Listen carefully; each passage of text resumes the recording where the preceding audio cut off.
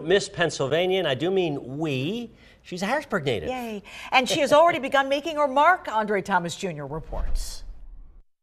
Miranda Moore, Miss Central PA, is now Miss Pennsylvania 2023 after being crowned on Saturday at the Appell Center for the Performing Arts in York. I'm still sort of getting my bearings with it. It doesn't even feel like real life, but it's just such a dream. I'm so excited.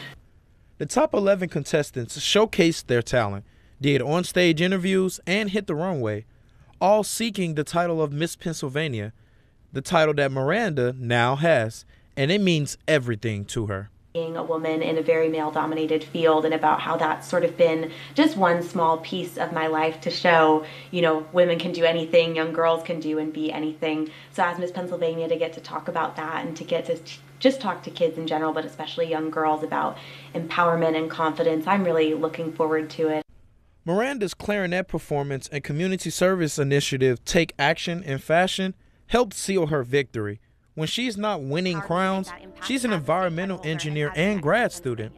Her victory brought her $13,000 in scholarship money, but she said that's not why she did it. There are infinite number of other reasons for why I stay, the professional development and the sisterhood, but that's that's what got me started and it's something that's really motivated me to continue to improve my performance and to do well during my time because I've been so fortunate to receive these scholarships.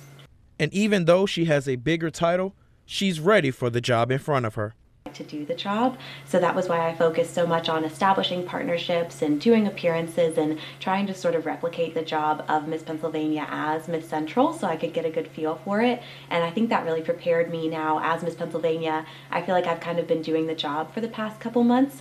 And her next challenge, the 102nd Miss America competition in January. In Harrisburg, Andre Thomas Jr., ABC 27 News.